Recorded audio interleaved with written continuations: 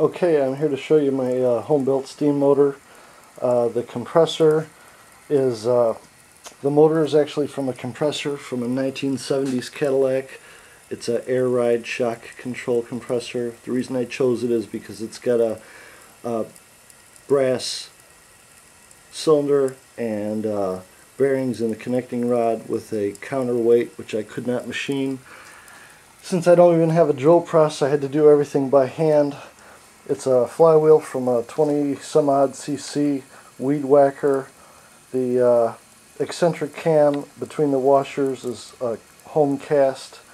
The bearing saddle uh, is home cast with a, a bronze uh, bushing for the uh, last side of the bearing. Then I've used a uh, discarded propane tank. I cast some aluminum mounts for it and then I made a camping stove which you can find online which is a coke can stove. It heats itself up and causes uh, pressure to develop inside the sealed can so it burns like a real stove would works real nice. And uh, I've right now I'm just using a petcock as my pressure relief valve. You can see we're getting up here with some pressure of 50 pounds and I have a uh, digital voltage meter with a probe on the back we're at about 256 degrees and you can see here I just used two rare earth magnets sandwiched over the uh, sensor probe uh, on the backside away from the fire.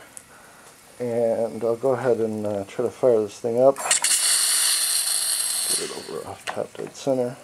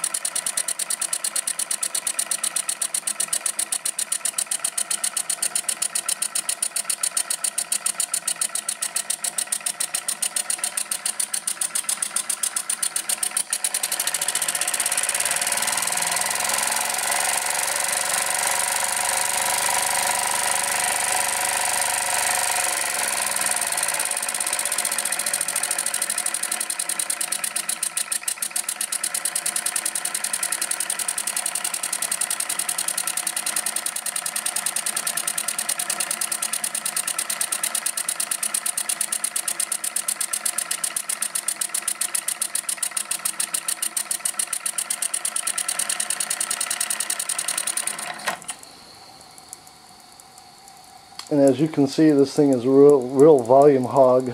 So out of uh, 70 pounds we're down to 19 so I don't get a real lot of run time but I've got to uh, go ahead and put a superheater in the tube coming off the tank to the compressor so that I'm not actually getting some water coming out of that line so I can maximize my heat. So hope you enjoyed it. This is pretty much YouTube inspired and uh, hope to see you guys posting your own makes Alright, have a good one.